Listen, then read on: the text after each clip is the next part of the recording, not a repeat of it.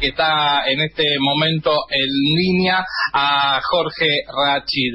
Jorge, ¿cómo estás acá? Buen día, Nahuel y Tomás, te saludamos en Radio Rebelde.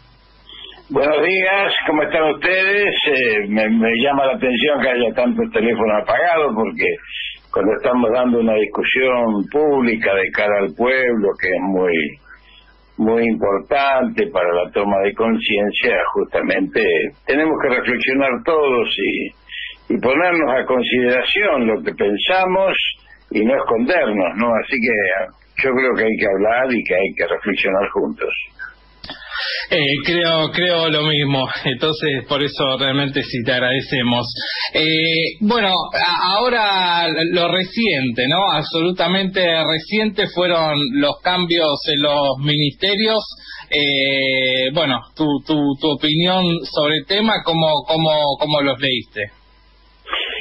Yo lo seguí desde el primer momento después de la derrota, digamos, electoral, que hay que decirlo, fue una derrota importante que nosotros algunos algunos incluso hasta preveíamos en algunos probes que hicimos antes de las elecciones porque indudablemente recorriendo recorriendo los barrios sobre todo en provincia de Buenos Aires y, y trabajando la necesidad desde la salud veíamos una, una gran legión de compatriotas con hambre, ¿no?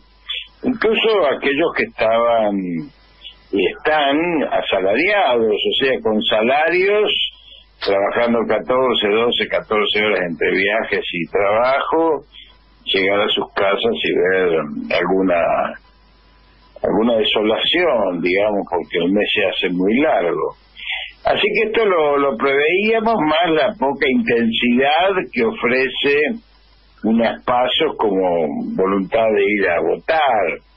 Así que mm, eh, esto esto es un, simplemente un, una de las tantas facetas que puede analizarse cuando no se eh, mira por el ojo de la cerradura. Por el ojo de la cerradura generalmente se mira la derrota para buscar culpables y yo creo que hay que mirarlo satelitalmente para buscar causas, corregir políticas y escuchar esa maravillosa música que es la palabra del pueblo argentino, como dijo Perón 19 días antes de morir, para poder hacer lo que realmente significa recuperar el camino que hace del frente de todos una herramienta electoral que expresa al movimiento nacional y popular en la Argentina. Por lo tanto, ese acuerdo básico que tenemos, que es neoliberalismo nunca más, eh, me da la impresión de que eh, no solamente hay que preservarlo, sino que apuntalarlo, militarlo y trabajarlo de acá a noviembre.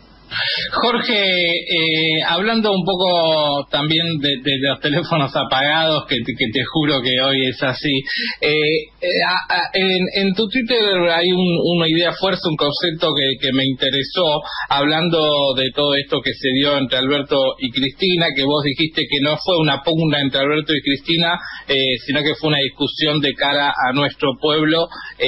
¿cómo, ¿Cuál es este, este concepto, si, si podés ampliarlo?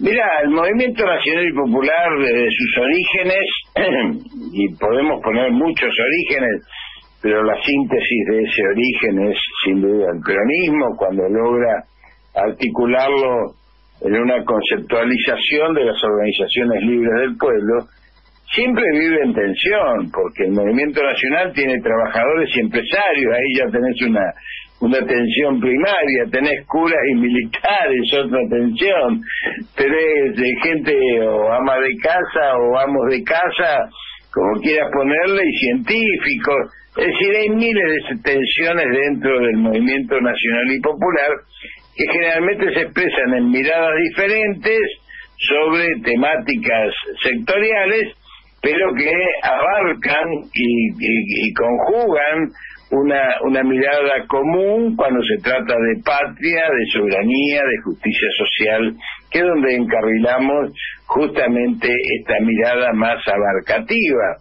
si hay algo muy claro es que fuera de esta mirada queda aquellos sectores neoliberales, aquellos sectores que obviamente no solamente atrasan en la historia de los pueblos, sino que además de atrasar son en gran parte, como lo hemos visto en la guerra pandémica, profundamente antipatria eh, y colonizados en su concepción política, lo cual lleva a una sumisión de nuestro país, lo cual nosotros no, no compartimos. Entonces, lo que nuclea al movimiento nacional y popular es la identificación del enemigo.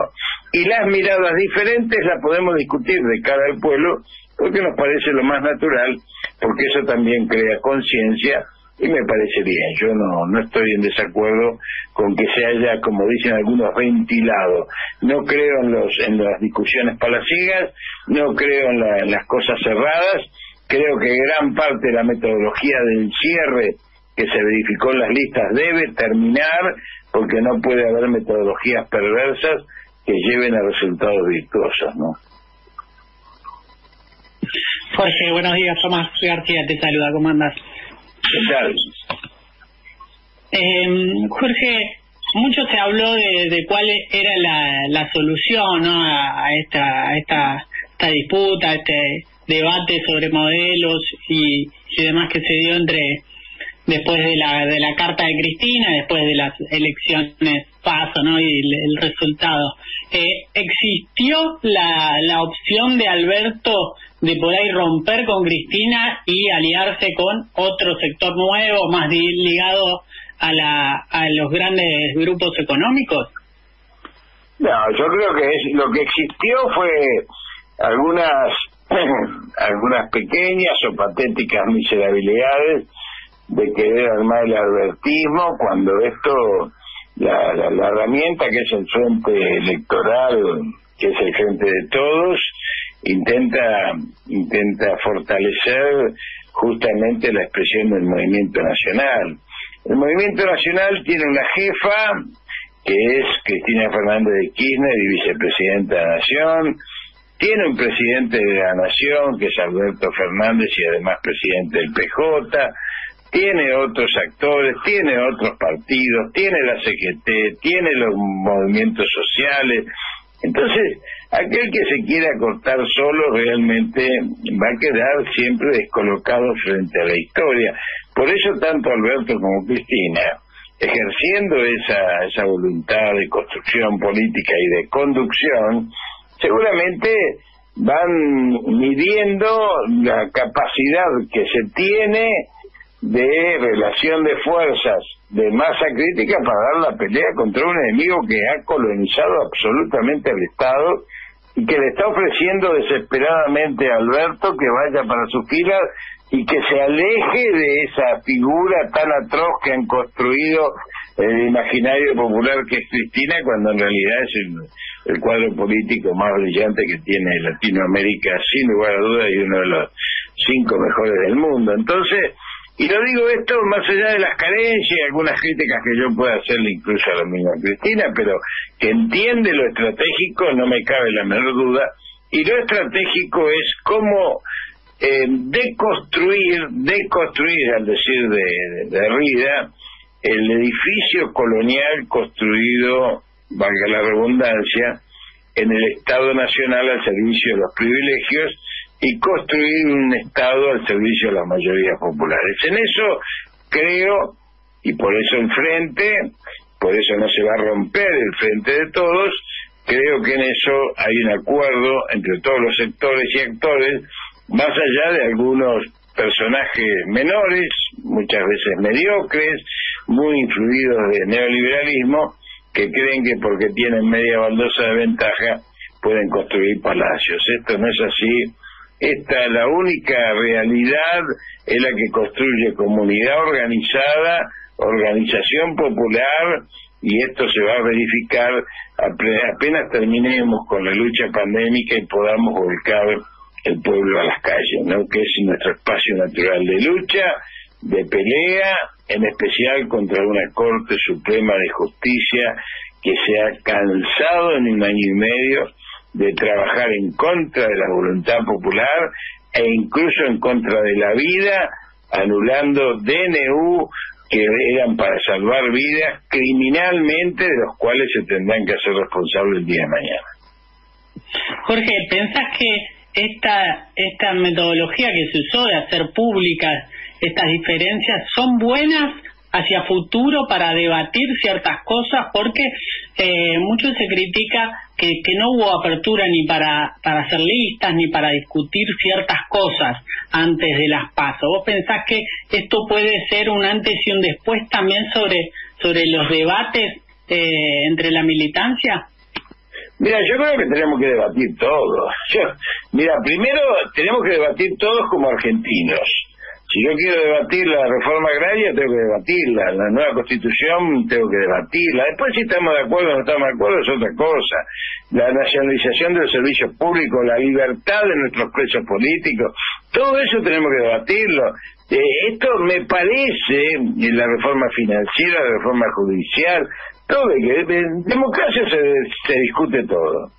Me parece que vos estás dando en el clavo si es un antes o un después. Ojalá sea un antes y un después, porque el cierre de lista realmente fue, fue, fue lamentable desde el punto de vista, digamos, de los posicionamientos uh, de palaciegos, aparatísticos, antes que de consulta con, con las bases. Entonces, eso hace daño a la larga y no lo, me parece que esto esto tiene que ser modificado porque cinco décadas de neoliberalismo cultural y de fragmentación de los procesos populares ha mellado esa capacidad de construcción de las 20 verdades del peronismo, donde no hay que mirar tanto para el costado, hay que combatir al enemigo y que cuando un peronista se cree más que otro, ha dejado de serlo. Así que eh, no creo en, la, en, las, en, las, en las cuestiones familiares que que se heredan, no creo en las listas hechas a la sombra de necesidades personales, siempre creí en otra cosa y probablemente tengamos que modificar los procedimientos internos de democratizar el poder y humanizar la política. Jorge Rachid, realmente te agradecemos mucho estos minutos y la generosidad con esta radio de siempre. No, no, gracias a ustedes por convocarme. Un abrazo.